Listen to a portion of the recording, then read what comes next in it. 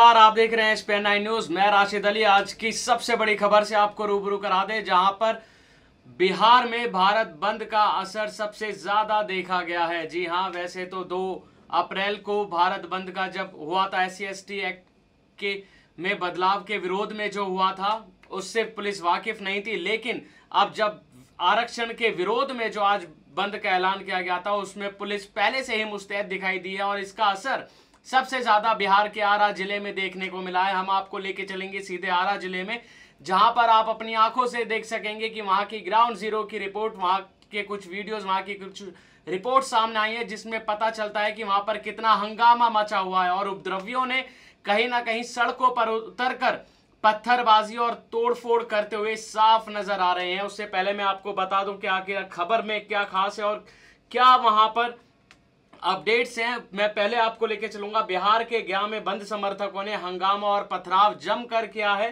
Police ने प्रदर्शनकारियों पर लाठी चार्ज किया और उन पर आँसू गैस के गोले छोड़े हैं। तो वहीं भारत बंद के दौरान एमपी के ग्वालियर में पुलिस प्रशासन ड्रोन से हालात पर नज़र रखे हुए है। दो अप्रैल को दलित संगठनों ने भारत बंद के दौरान यहाँ सबसे ज़्यादा हिंसा बरपाई थी और आगजनी हुई थी, जिसमें चार लोगों की जान चली गई थी। अकेले एमपी में तो अगर बात करें राजस्थान की भी, जहाँ पर हिंसा में सबसे ज़्यादा जाने गई थी मध्य प्रदेश के ग्वालियर राजस्थान में तकरीबन 10 लोगों की जान चली गई थी, क्योंकि पहले नहीं पता था कि शाम तक ये प्रदर्शन इतना हिंसक रूप ले लेगा। और अब पुलिस पहले से ही मुस्तैद दिखाई दे रही है और आरक्षण के विरोध में जो आज भारत बंद का ये जो कहा गया है, भारत बंद के जो समर्थक हैं उन्होंने आज आरा के बाद अब मुजफ्फरपुर में भी बंद समर्थकों ने हिंसा और तोड़फोड़ की है। यहाँ के एक पेट्रोल पंप पर प्रदर्शनकारियों ने हंगामा किया है। दुकानों को भी जबरन बंद करवाया है। मैं आपको पहले दिखाना चाहूँगा, बिहार के आरा से ये खास रिपोर्ट, जिसमें आप देख सकते हैं कि सड़क पर बंद समर्थक किस तरह हंगामा मचा रहे हैं। देखिए खास रिपोर्ट।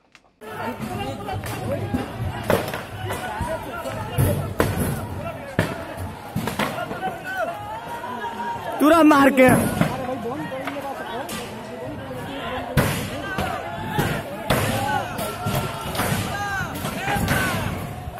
तुरा तुरा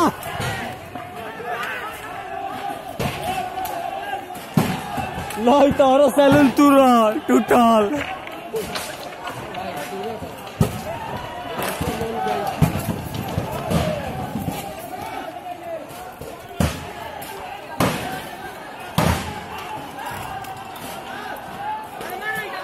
इनु भइल गजब। हो हो बाय कुछ ना हो हो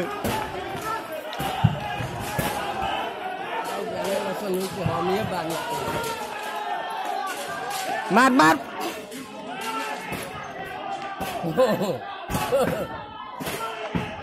अब अब, हो गई आज के। अरे मत रहा तो ना टूटी।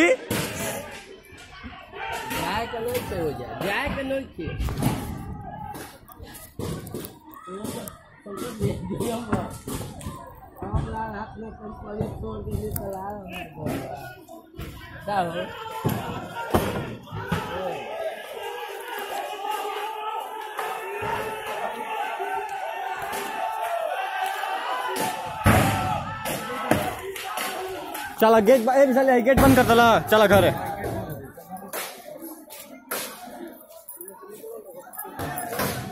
अब बुझाइल की जनरल का कहाला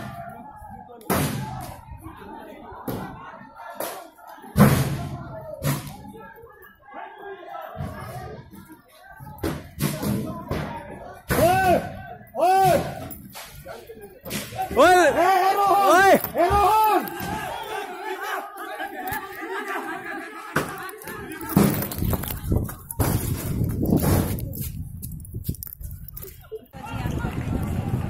तू जाना हई देखा ना इनके लगा था कि हर दुनिया की चिंता बा।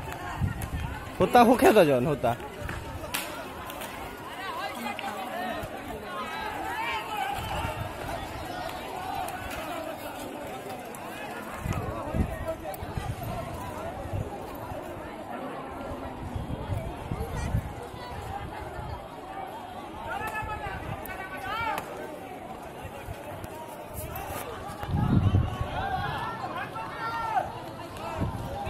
लखेदला सोने से लखेदला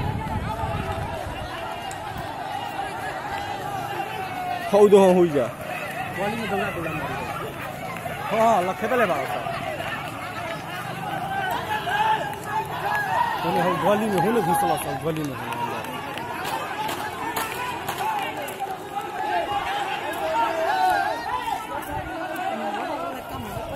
कृष्णा नगरला खड़ा होकर कृष्णा नगर ला मऊ के बड़ा सही जा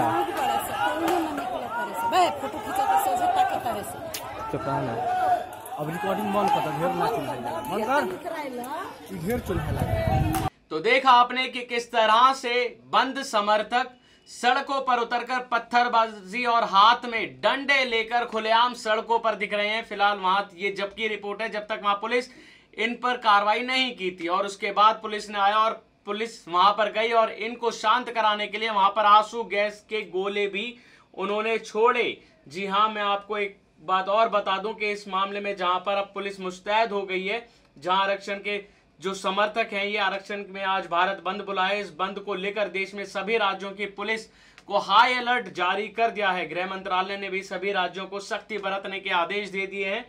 कई राज्यों में भारत बंद के चलते धारा 144 लगाई गई है। भारत बंद आरक्षण के विरोध में बुलाया गया है। जी हाँ तो मैं वहीं आपको कुछ और दृश्य याद दिलाना चाहूँगा। जिस दिन 2 अप्रैल के दिन कितनी जान और माल की हानि हुई थी, कहाँ का हड़कम मचा था, किस तरह पत्थरबाजी हुई थी, लोगों की दुकानें तोड़ डाली थी, पुलिस चौकियों में आग लगा दी थी तो वहीं लोगों की जाने गई थी, इतना ही नहीं। सड़कें, व्यवस्था, इंटरनेट, सेवाएँ, बच्चों की पे, बच्चों के पेपर कहीं ना कहीं सब प्रभावित हो गए थे। देखिए खास रिपोर्ट।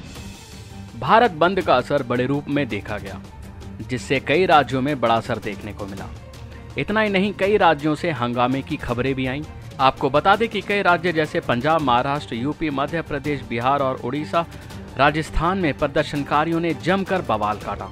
इसका असर पंजाब में ज़्यादा देखने को मिला तो वहीं भारत बंद के मद्देनजर पंजाब सरकार के अनुरोध पर सीबीएसई ने राज्य में 2 अप्रैल को होने वाली बारहवीं और दसवीं की परीक्षाएँ स्थगित कर दी।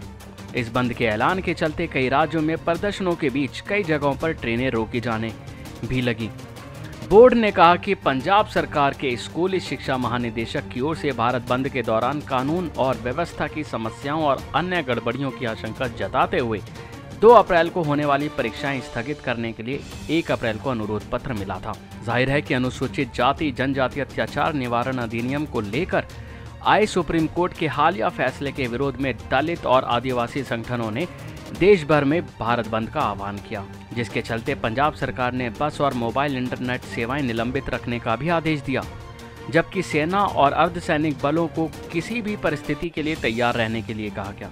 स्कूल बंद रहे और बसें भी सड़कों पर नहीं चली। इस दौरान संगठनों की मांग थी कि अनुसूचित जाति, जनजाति, अत्याचार निवारण अधिनियम उन्नीस सौ नवासी में संशोधन को वापस लेकर एक्ट को पूर्व की तरह लागू किया जाए। भारत बंद के आह्वान को कोई दलित नेताओं का समर्थन हासिल हुआ, जिसके बाद देखा गया कि कहीं ना कहीं भारत बंद का ऐलान कई राज्यों में बहुत बुरा पड़ा। आपको बता दें कि पंजाब, मध्य प्रदेश, राजस्थान, ओडिशा, बिहार, इन जगह कहीं ना कहीं जमकर बवाल कटा। बसें तोड़ी गईं पुलिस चौकियों तक को आग लगाई और सबसे महत्वपूर्ण बात, इसमें 11 लोगों की जान जाने की खबर मिली। जी हाँ इस खबर ने, इस प्रदर्शन ने कहीं ना कहीं लोगों को आहत ज़रूर किया, क्योंकि इतने बड़े प्रदर्शन ने कहीं ना कहीं लोगों की जान गंवाई, जो कि बहुत ही दुर्भाग्यपूर्ण रहा। प्रदर्शन होने चाहिए, लेकिन इस तरह नहीं, लोगों की जान और माल को हानि पहुँचे। ये प्रदर्शन इतना हिंसक होगा, ये किसी ने सोचा नहीं था। इसका असर इतना देखने को मिलेगा, किसी ने सोचा नहीं था। जिस तरह से लोगों की जाने गई, दुकानों में तोड़फोड़ मची, चौकियों तक को आग के हवाले कर दिया, या बात कहें तो गाड़ियाँ फूक डाली, गाड़ियों में तोड़फोड़ की, बसों में तोड़फोड़ की, गाड़ियों को आग लगाई गई, जो किसी ने भी सोचा नहीं था कि ये प्रदर्शन इतना हिंसक हो जाएगा। जिसको लेकर इतनी खबरें आ रही थी कि तमाम राज्यों में ऐसा बवाल कटा है जो किसी ने सोचा नहीं था। तो बहरहाल, भारत बंद के ऐलान के बाद ऐसा असर जो किसी ने सोचा नहीं था, वो अब थम गया है। कहीं ना कहीं सामान्य जीवन लोग बिता रहे हैं, लेकिन उनका क्या? जिनके परिवार में चिराग बुझ गए हैं। देखा आपने कि किस तरह से हंगामा मचा हुआ था।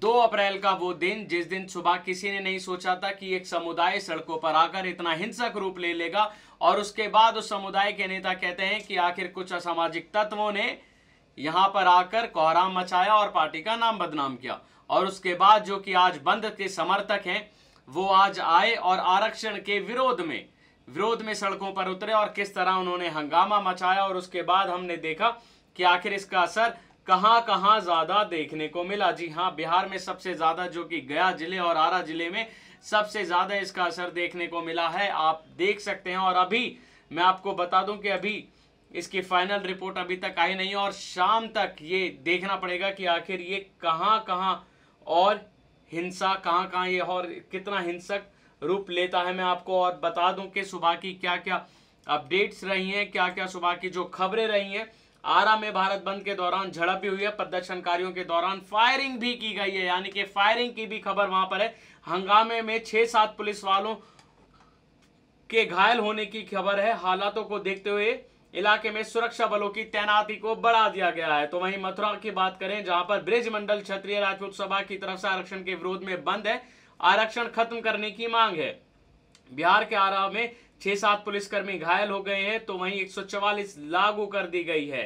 जी हाँ ये ऐसा है, और अगर बात करें, अभी कहाँ कहाँ ये बात होगी, क्योंकि बिहार में सबसे ज़्यादा हंगामा मचा हुआ है, और अब देखना यह है कि आखिर शाम तक और कितना बवाल होना है। तो आज के लिए बस इतना ही। इस विषय में हर खबर जानने के लिए जुड़े रहिए हमारे साथ, और देखते रहिए एस पी न्यूज़। नमस्कार।